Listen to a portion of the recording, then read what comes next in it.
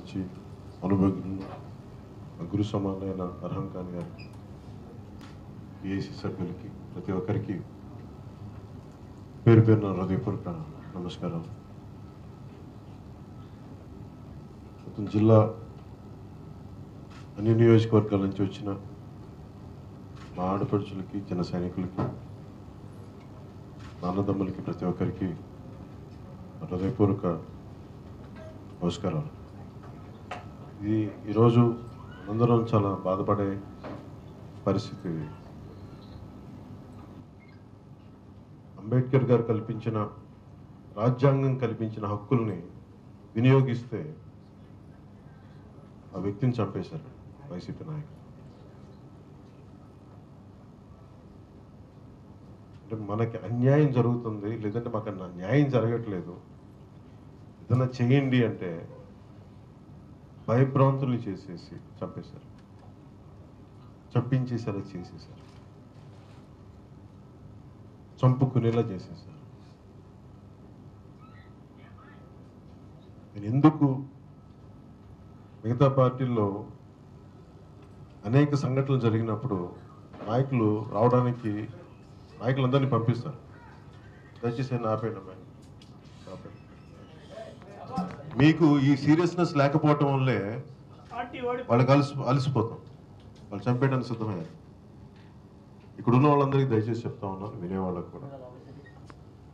నేను సరదా కోసం రాజకీయాల్లోకి రాలేదు. చాలా బాధ్యతగా ఇప్పటి నుంచి పని చేస్తే భవిష్యత్ తరాలకు ఏదైనా కొంత మేలు చేయగలం ఇక్కడ ఒళ్ళో కూర్చున్న బిడ్డల తరానికి ఏదైనా మేలు చేయం దానికోసం వచ్చి అంటే ఇరవై సంవత్సరాలు పడుతుంది. ఇరవై సంవత్సరాలు పడుతుంది. పాలిటిక్స్ ఒకటి సరదాగా చేయకండి చాలామంది సినిమాలకు వెళ్ళి చప్పట్లు కొట్టేసి హీరో డైలాగులు చెప్తే చప్పట్లు కొట్టేస్తే అది వేరు సినిమా వేరు. రెండున్నర గంటల జీవితం. వాస్తవం రాజకీయం. ఒక మాట అంటే సినిమాలో నిలదీస్తే చప్పట్లు పడితే ఫైట్లు ఉంటాయి. రియల్ లైఫ్లో మాట్లాడితే చంపేస్తారు. నేను తెలుసుకునే వచ్చాం రాజకీయాల్లో. అంబేద్కర్ గారు కల్పించాక చెప్పినట్టు అంబేద్కర్ గారు కల్పించిన మన రాజ్యాంగ నిర్మాతలు కల్పించిన హక్కుని ఉప వినియోగం ఉపయోగిద్దామంటే ఉపయోగిస్తే అబ్బాయిని చంపేశారు. ఎంతమంది కొద్ది మంది ఈ రోజున చూస్తే ఇంతమంది వచ్చినారు ఈ రోజున. దారి పొడిగితే వేల మంది కనిపించారు. మరి మనలో లోపం ఎక్కడ ఉంది? అంటే మనలో సంఘటితం లేదు సంఘీభావం లేదు. అందరం ఎవరి కాలం విడివిడిగా ఉన్నాం? ఇలాంటి సమయంలో నాయకులు కూడా నేను ముఖ్యంగా ప్రకాశం జిల్లా ఏ జిల్లా నాయకులు నేను చెప్పేది కొన్ని గ్రూపులు పెట్టుకోండి వాట్సాప్ గ్రూపులు పెట్టుకోండి. ఆల్రెడీ ఉన్నాయి. ఉన్ని వినియోగించుకొని ఇక్కడ అన్యాయం జరుగుతుంది. మమ్మల్ని దాడులు చేస్తున్నారు. ప్రతిసారి నేను పరిగెత్తుకు రావడానికి నేను ఒక మనిషిని నేను అది అర్థం చేసుకోండి మీరు ఇంతమంది ఉన్నారు. ప్రతిసారి నేను మీరు ప్రత్యేకించి ఏం పుట్టాం? ఇందాక కూడా కింద సభలో చెప్పాను నాలాంటి వాడు ఇక్కడ గోపాల్ నగరంలోనూ ఇక్కడ క్లౌపేటలో పెరిగిన ఒకడు. నేను ఇంత ధైర్యంగా బయటకు వచ్చి ఒక పార్టీ పెట్టగలిగినప్పుడు మీరెందుకు రాలేరు? మీరెందుకు మాట్లాడలేరంటే నాకు మీకు ఏముంది తేడా? నేను అనుకున్నాను మీరు అనుకోవట్లేదు అంతే. మీలో శక్తి ఉందని మీరు అనుకోవాలి అంతే. చాలా శక్తి ఉందని నేను అనుకున్నాను అంతే పెద్ద నేనే పెద్ద కుటుంబాల నుంచి పుట్టలేదే? మా నాన్న ముఖ్యమంత్రి ఏం కాదే? జగన్ రెడ్డి గారు నాన్నగారు లాగా మా నాన్న ఇదే ఊళ్ళో ఆ పక్కన ఉన్న మనకి గోపాల మన మా నాన్న హెడ్ కానిస్టేబుల్ చేసిన నాకు నాకు ఆ డ్రెస్ వేసుకుని నాకు ఇంకా గుర్తుంది నాకు. పెట్టి ఆఫీసర్ అయిన ప్రమోషన్ వస్తుంది దాని దానికి కూడా గుర్తుంది నాకు. అలాంటి కుటుంబాల నుంచి వచ్చాం మేము. అందుకని మీ అంటే మనకు కావాల్సింది ఏంటంటే మనం భయపడకండి మీరు. ఈ ఎమ్మెల్యేలు ప్రజాప్రతినిధులు చాలా డబ్బున్న వాళ్ళు మనందరం కలిస్తేనే కదా మనం మనం కదా ఇచ్చింది బలం వాళ్ళకి. మనందరం బలం ఓటేసి బలం వస్తే ఆ- బలుపుతో తిరిగి మనల్ని చంపుతున్నారు ఇలా ఆ బలుపుతోటి. ఇద్దరు ఎమ్మెల్యే పిఆర్పి పెట్టిన భిక్ష అది.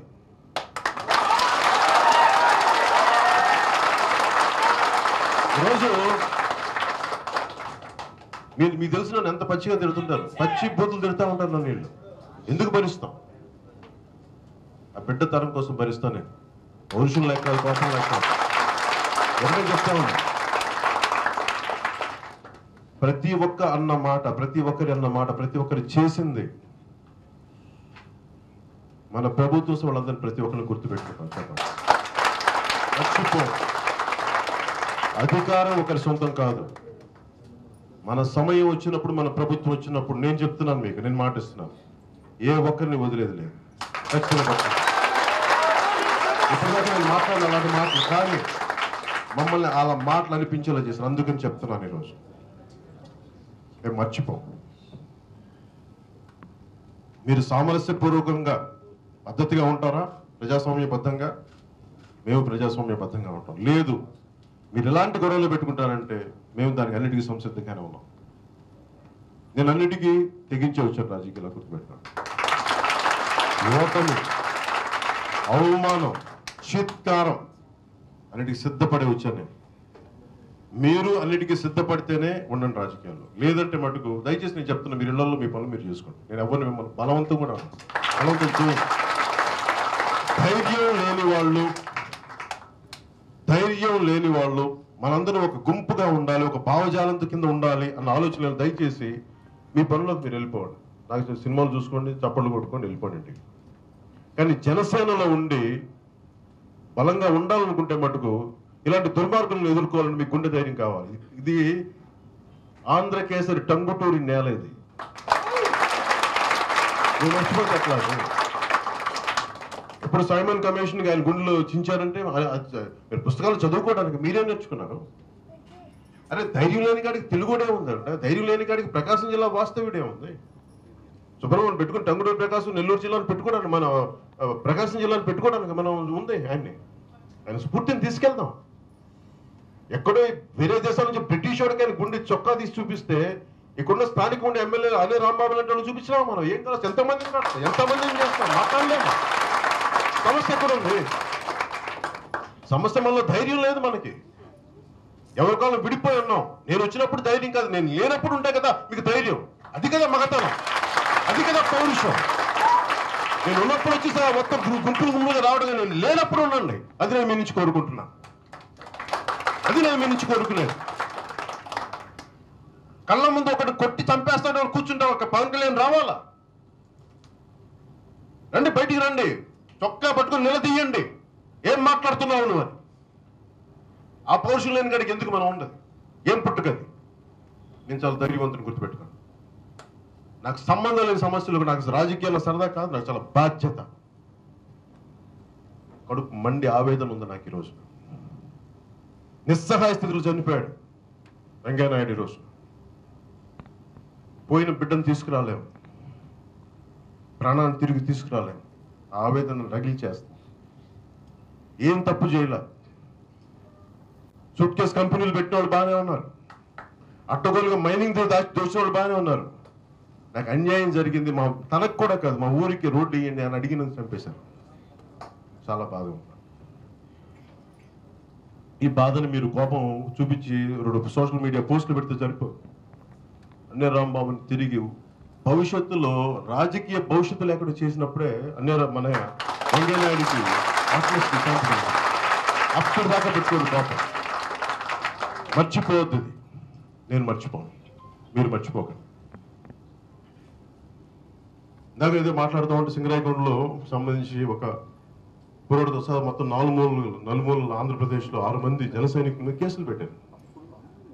ఆ పక్కన ఈస్ట్ గోదావరి జిల్లాలో దేవాలయాల విగ్రహాలు పగలగొట్టింది నేనే. నేనే పగలగొట్టించానని చెప్పి ఒక వ్యక్తి ఎవరో మాట్లాడుతూ ఉంటే వాళ్ళ మీద కేసులు లేవు. వాళ్ళ గురించి ఎవరు మాట్లాడరు. వాళ్ళ మీద పోలీసులు చాలా సెలెక్టివ్గా పోలీసులు కళ్ళు మూసుకున్నారు. ప్రభుత్వం కూడా వాళ్ళ గురించి ఏం మాట్లాడదు. కానీ పొరపాటు ఇంకోటి చిన్న చేసి సోషల్ మీడియా పోస్ట్ ఫార్వర్డ్ చేసినందుకు ఒక టీవీ ప్రోగ్రామ్ ఫార్వర్డ్ చేసినందుకు వాళ్ళు స్టేషన్ స్టేషన్ తిప్పి కేసులు పెడతా ఉన్నారు. రేపు అది కూడా పట్టుకుంటాను. డీజీపీ గారి దృష్టికి తీసుకెళ్తాను. మా వాళ్ళను మటుకు మీరు ఇలాంటి కేసులు పెట్టి వేధిస్తే మేము ప్రతి ఎస్పీ ఆఫీస్ ముందు మేము వస్తాం. ఎందుకంటే మేము ఇంత అవి ఇంత అన్యాయం మేము తట్టుకోవడానికి మేము సిద్ధంగా లేము మేము. మా జన సైనికులు మా బిడ్డల మీద చెయ్యి వేస్తే మా ఆడపడుచుల మీద చెయ్యి మేము ఊరుకునే వ్యక్తులు దయచేసి మీరు కూడా చెప్తున్నాను ఒక్కరిగా ప్రశ్నించకండి చాలాసార్లు చెప్తా ఉన్నాను. మిమ్మల్ని రెచ్చగొట్టడానికి మాట్లాడతారు. మిమ్మల్ని సమన్వయం కోల్పోవడానికి మాట్లాడతారు. సహనం కోల్పోకండి. వ్యూహం వేయండి. ఆలోచించండి. వాళ్ళు మనకంటే కర్ణుడు లాగా కవచకుండలతో పుట్టలేదు వాళ్ళు ఎవరు? వైసీపీ ఎమ్మెల్యేలు ఎవరు? చాలా మామూలు మనుషులు చాలా మామూలు మనుషులు వాళ్ళు. చాలా సామాన్యులు వాళ్ళే వెయ్యి సంవత్సరాలు బతికే వ్యక్తులు కాదు. అందరిలాగే పోతారు అందరిలాగే పడతారు అంతే. వాళ్ళు ప్రత్యేకించి ఎమ్మెల్యేలు ప్రజాప్రతినిధులు వాళ్ళకి భయపడుతున్నారు అసలు మీరు. చాలా సామాన్యమైన మనుషులు అసలు ఆలోచన చూడండి. వాళ్ళు మీరు భయపడాల్సిన అవసరం లేదు కానీ అలాంటి దుర్మార్గపు వ్యవస్థను ఎదుర్కోవాలంటే మన సంగీత మన ఒక వ్యవస్థలో ఉండాలి. మనం విడివిడిగా కొట్టుకుంటే కుదరదు. కానీ చీమలను చూసినా నేర్చుకుందాం. గుంపుగా ఉండాలి. తేనెటీగలను చూసి నేర్చుకుందాం? గుంపుగా ఉండాలి. తేనెటీగల సమూహంలాగా ఉందాం? ఒక్కరిని కొడితే వందమే కొడు కొట్టాలి తిరిగి. అలా ఉండండి. రేపు వాళ్ళ తల్లిదండ్రులు వెంకయ్యనాయుడు గారి తల్లిదండ్రులు కలుస్తూ ఉన్నాను వారి గ్రామ ఆ గ్రామస్తులను కలుస్తూ ఉన్నాను మరి బంధువులను కలుస్తూ ఉన్నాం. కలిసి వారికి మా మద్దతు తెలుపుతా ఉన్నాం. అండగా నిలబడతాం.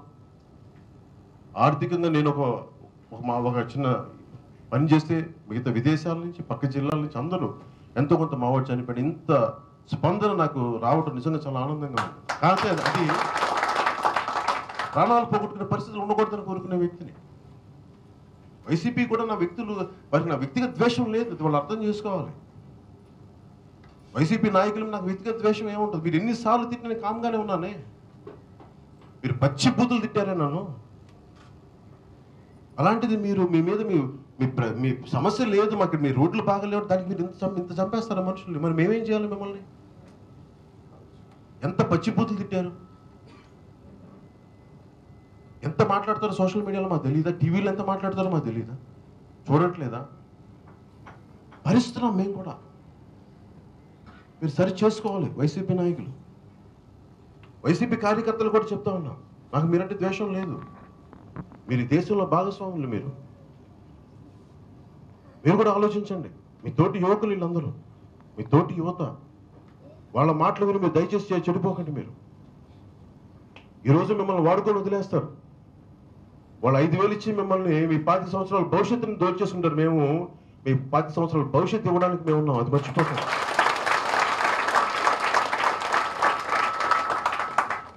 మీరు ఎవరికీ భయపడద్దు. మేము అండగా ఉంటాం. రేపు పొద్దున మనందరం ఒక సంఘీభావం తెలుపుతాం. ఎందుకు ఒంగోలులో పెట్టాం? గిద్దలూరులో పెట్టుండొచ్చు. కానీ ఒంగోలులో పెట్టాలి. జిల్లా అంతా తెలియాలి. ఎంతమంది కడుపు మండి ఎంతమందికి ఆవేదన ఎందుకంటే ప్రశ్నించే వాడి గొంతు నొక్కేస్తే ఎన్ని వేల గొంతుకుల ఎన్ని లక్ష గొంతుకుల బయటకు వస్తుంది తెలియాలి. ఒక లక్ష గొంతులు ఒక్క వెంకయ్య నాయుడు గొంతు తొక్కితే నొక్కితే లక్ష వెంకయ్య నాయుడు బయటకు వస్తాయని చెప్తాం. ఎన్ని గొంతులు నొక్కుతారు చూద్దాం. ఒకసారి అందరూ రేపు.